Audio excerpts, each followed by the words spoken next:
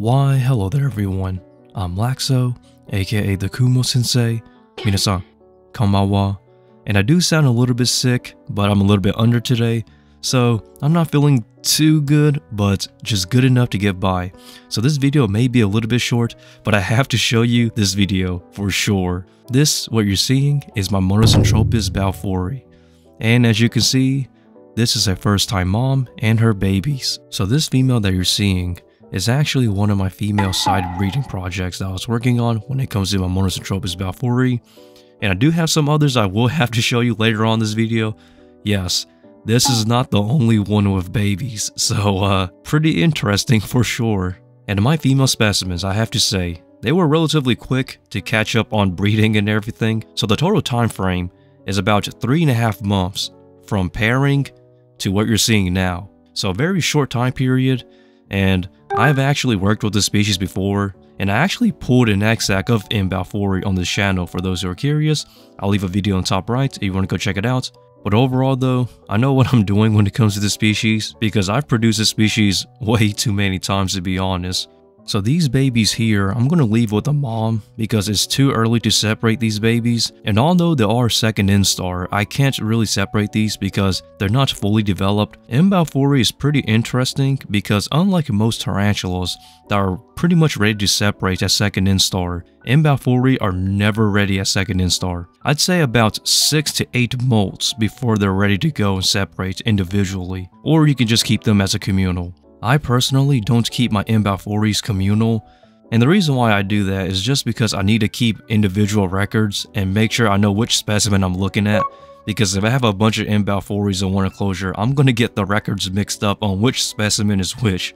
Now for me, I don't really encourage communals because of possible cannibalism and things going wrong, but M. balfouri, I kind of, hmm, I don't know how to put it. I'm kind of on the fence. I've seen communals of M. balfouri work, but I've also seen some cases where it kind of went down south.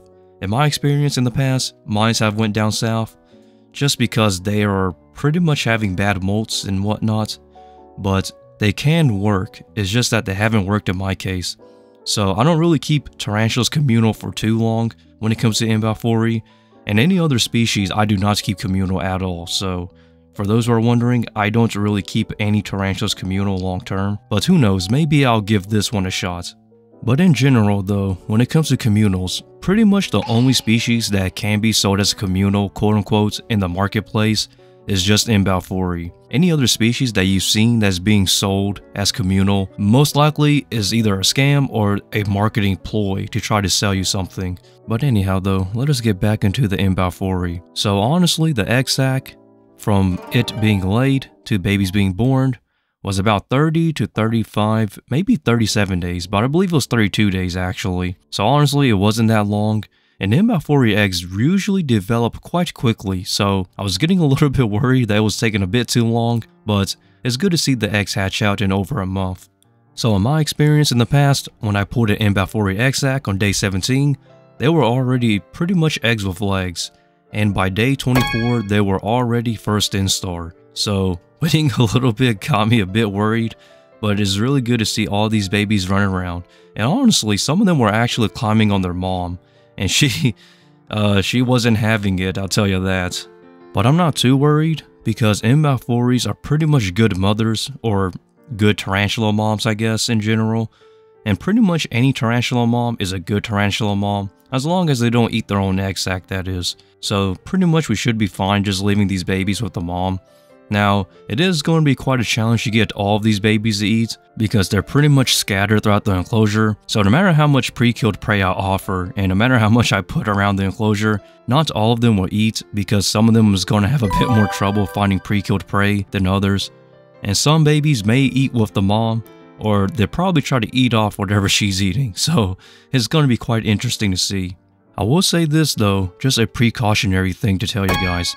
If you have ventilation holes or any sort of ventilation that is large enough for the babies to get through, they will crawl out. So that's pretty much your disclaimer and kind of one of the downsides of having a uh, egg sac hatch within your enclosure I guess, is that if any ventilation holes are too big or if there's any gaps in your enclosure where babies can squeeze out, they will squeeze out. So please be decisive on whether you decide to leave an egg sac inside of an enclosure for M. balfouri or if you decide to pull the egg sac yourself. Both sides, you know, whether you pull the egg sac from the M. balfouri mother or leave it in, both sides will have its drawbacks and its positives. So it's really up to you on what you want to do. I've done both already to where sometimes I pull the egg sac and in this case, leaving it with the mom and letting the babies hatch out.